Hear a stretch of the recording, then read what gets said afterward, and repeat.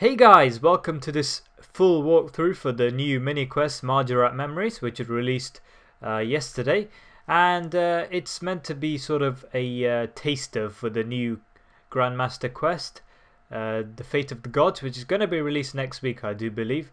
So uh, yeah, you guys can do this if you want. Apparently, it unlocks some additional dialogue and some other sort of quirks, uh, but you don't need this to do the quest next week. Anyway, this mini quest is very, very long. I suggest you have a lot of patience and um, set aside a lot of time to complete this mini quest because it's not a mini quest at all. It takes between 6 and 9 hours to do uh, unless you have 7.5k memories which are vibrant or better banked, in which case it takes a significantly uh, less amount of time. But most people won't have won't have that, so it's memories by the way, not energy. So it's unlikely you'll have that. So this quest can take six to nine hours, uh, hours, and uh, yeah, the requirements for it are other quests, as are the requirements for most other quests. So you need the following quests, as you can see. You need uh, Koschei's Troubles, you need uh, Ritual of the Mahjarrat, you need Blood Runs Deep, the Fremennik Trials, Glorious Memories, and 60 Divination as the final sort of skill requirement for this mini quest. Now there are some other minor requirements slash recommendations. I'd recommend you have a good range of teleports available because you need to be traveling around a lot uh, in this mini quest. Actually, not that much compared to how much time you spend doing divination. Um, and I also recommend you have at least one divination aura. It really helps. Basically, what the aura does is, uh, well, you can. There are different tiers, but basically increases your chance of getting an enriched memory, which will be very useful. I'll come on to it later, but basically enriched memories are more valuable than normal memories for this mini quest. Also, you'll require the invitation box, which you get from uh, doing a bit of Missing Presumed Death. And you'll also need the insulated boots uh, and the Macaw pouch, which you can just buy from the GE. To kick things off, all you need to do is go to Thorvald's house, which is just northeast of the long hall in Rellekka. You'll have come here to do the Koschei's Trouble mini quest. Anyway, so yeah, you just go down the ladder and then talk to Koschei. Basically, what he tells you that is that he's created a device called the Engrammeter to store the memories of uh, his Mahjarrat kin um, and he wants you to go around collecting the memories and giving it back to him. Here's the problem. Every time you want to collect a memory, you need to recharge this device, and the device needs 500 memories, uh, which are at least of a vibrant or better. So it needs 500 of those memories to be recharged, and you need to recharge it uh, every time you want to gather a memory, and you need to gather 15 memories. So yeah, this is going to take a while.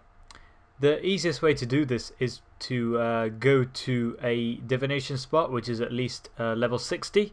Obviously, the higher the level, the more XP you'll get, so obviously try and go to the best divination spot you can. Uh, as long as it doesn't take ages to get there, because you'll need to go back and forth 15 times. Uh, so, yeah People like to use the mobilizing army spot because it's right next to a teleport, I guess, but um, I just used the best one I can, which is the incandescent memory spot, uh, which is just south southwest of Castle Wars. Anyway, you, all you need to do is go there, gather 500 memories, and then when your inventory is full, just click on the device and it will fill it up. Um, and the little quirk that will make it go a little bit faster, I guess, is is the fact that uh, enriched memories count for two memories. So uh, they obviously speed things up a lot, which is why I, I uh, recommended that you guys get a divination aura because this will give you more enriched memory. So yeah, and your uh, divination level doesn't matter for this. I mean, uh, you don't get any advantage um, in terms of the speed of collecting the memories if you have a higher divination uh, level. Just that you'll get a bit more XP for getting those memories. Make sure not to use it on the rift by accident because people will be used to that by now. Also, they added like a right click option on the rifts, which will make it faster when you do normal divination. But anyway, that's aside, uh, that's beside the point. Uh, that's basically all you do, um, and it will take you around, uh, as I said, five hours just to gather these memories, a bit more than five hours, um, and a bit more time to actually go to the places and then get the memories. So that's that's it. Once you get 500 memories, this is what you need to do. So once you've gathered 500 memories and charged up the engrammeter till it glows a uh, blue color, all you need to do is go around uh, gathering the memories of each of these Mahjarrat it doesn't matter what order you do them in, but uh, you can just click on the names on screen now to navigate to the relevant section of the guide where I'll show you how to get there and uh, yeah, basically how to gather the memories. Once you gather the memories, the you just basically go back to Koschei and give it back to him and you get 25k divination XP plus a memory uh, book which you can just destroy because you can find it in your player owned house later. But anyway, just click on the names on screen now and uh, let's get started on this. Okay, for this one, you simply need to teleport to uh, Trollheim and walk to the northwest of it using the path I'm just showing you. Walk around uh, past the northeast, uh, northwest, sorry, uh, past the ice gate to the west of it. Go through the little cave entrance, go through the winding ice tunnel, and uh, out through the crevice. I do believe, as you can see and then go east from there. Uh, yeah, I think it's east. Yep. And uh, go through the cave entrance and then through this place and just click on the engrammeter. You'll get a memory. And uh, just for this one time, because it's the first time, I'll just show you that you need to go back to Koschei and talk to him about it before you can recharge the engrammeter again for your second of the 15 times. Um, and he'll give you 25k divination XP and a book which you can just destroy and read later from your POH because otherwise it will use up uh, too much bank space when you gather all the books. For Mizzarch's memory, you simply go to the Zaros altar where you swap your swap to your Curses uh, prayer book. So just use a dig site pendant, I guess, or uh, just go from Varrock, I guess. So yeah, that's pretty simple. For Azzanadra's memory, you need to go to Jaldraocht I think that's what it's called. So you can just use the uh, Pharaoh's Scepter to teleport you directly there, or just use a lodestone or something. It's pretty simple, just a place where you swap to Ancient, and uh, yeah. So for Jhallan's memory, you simply go to the place where you did the Tale, Tale of the Muspah quest, I do believe. So just use the fairy ring code uh, DKS and uh, go through the cave. Don't go east like I'm doing at the moment. I just love Slayer too much, so I automatically went to the Ice Strykewyrm place. But uh, you just need to go west instead and then north a bit, past the river. And then uh, you'll come to the cave, just cross the bridge, go to the center, and then use the engrammeter, and you'll get the memory. For Jesus' memory, you need to go to the Ardougne Sewers, sadly, uh, which is just southeast of the clock tower. Enter the cave, um, and then use the raft, I guess, and uh, you'll basically get there. Just go there, go through a bit, and then use the engrammeter, and you'll get the memory. The best way to go here, I think, is to use the Kandarin Monastery teleport using the Ardougne Cloak.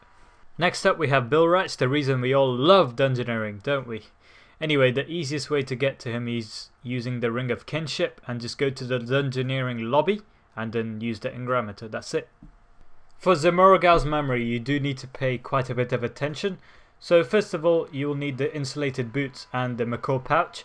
Go to the northwest uh, corner of the Varrock Palace. Go up a floor, I think, and then uh, talk to Heartwin. He'll teleport you to the place where you did the Defender of Varrock quest.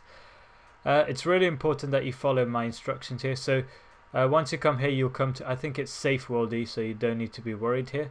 Uh, you simply need to uh, go down the trapdoor. Follow the path I take past the zombies. Uh, it's important to follow the path I take because otherwise you could go off course by, for example, if you remember, there are some human detection traps uh, which will uh, which will obviously get you detected and beaten up and take down your LP. So you might need some food here. So go to the end of the uh, area. You'll go to a room with a tunnel. Go through the tunnel. You'll be in a sewer with a kilowatt at the end. Uh, make sure you have your insulated boots on. Now here's where you'll need your Macaw Familiar uh, to help you get past the guards here. So once you get next to the tunnel, at the end of this tunnel, uh, use the remote view ability of your Macaw Familiar basically it'll tell you when the guards are looking away so you can sneak past. Uh, so that's exactly what your character does. They wait until the guards go away and then sneak past. And then uh, I was just exploring here, having a bit of fun. But what you need to do is just go south, the room directly south of when you come here. So as you can see, just go to that room and then use the engrammeter, and that's pretty much it. Try not to veer off course because it can uh, set you back a bit. So just follow my instructions here. To get Ralvash's memory, you'll need to go to Ghorrock. One of the ways is to use the fairy, fairy ring DKQ to go to the Glacial Cave and then go north. Follow the path I take. Uh, incidentally, this is also where you can get one of the memory, uh, but I'll get onto that when that section comes. Uh, but yeah, just follow the path, go north, uh, and then you'll get to Ghorrock. Go past the Fallen Pillar, past the Iron Dragons, which are unaggressive, and there you go. That's it. Now, for Lucien's memory, you can simply use the DKR Fairy Ring code, and his house is like a few steps south of it. You just go into his house and use the engrammeter, or you can just teleport to Edgeville and then walk the way I showed you guys. Palkeera's memory is pretty much the same as Ralvash and a bit easier. Uh, you simply do the same thing as I did before, so Fairy Ring DKQ, Glacier Cave north of it, and then uh, the ritual marker on the way to Ghorrock, so a bit easier as I said. Uh, the ritual marker is just northwest slightly of the cave exit, and just go next to the ritual marker and then use the engrammeter. That is it, guys, that is it. Okay, so you can do Akthanakos and Enakhra both at once, so Teleport to the bandit camp, go southwest, down the secret entrance, and uh, you'll get to that temple. I don't know what it's called, but it's a temple. Don't do what I did and go back up again, but go down uh, one floor, and then follow the path I take. Now, if you follow this path, uh, an Arcros fragment will be just here, just before you go to the ladder. This will be the place to get an Arcros fragment. Um, if you want to get Akthanakos' fragment, follow the path I take, past the magical barrier, up the ladder to the north, and south a bit to this room over here. And here is his fragment. So you've killed two birds with one stone. I think that's a saying. So yeah. Now this definitely isn't the fastest way to get to Ali the Wise's house in Nardah. But I just used the poly uh, home telly and then went south to the carpet then took the carpet to Nardah, and then from there walked to his house. Now, I know it doesn't take too much time, but it's definitely not the quickest. If you have a Desert Amulet too, then use it, or some other means of getting to Nardah.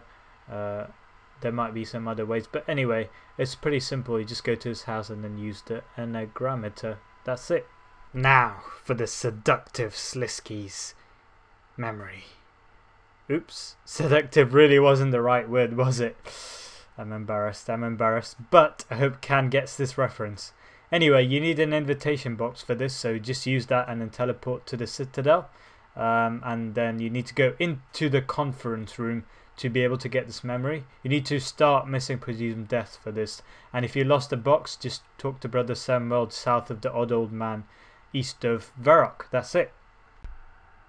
Okay guys, so I think this is my last one, well I hope it is my last one because I do remember that I needed that I had 14 done before this so I think this is my last one let's see what we get uh, we should finish it now um, let's use it here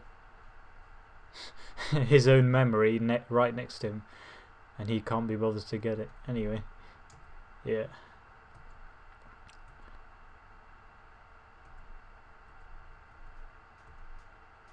Okay, so we have brought every single memory back to him.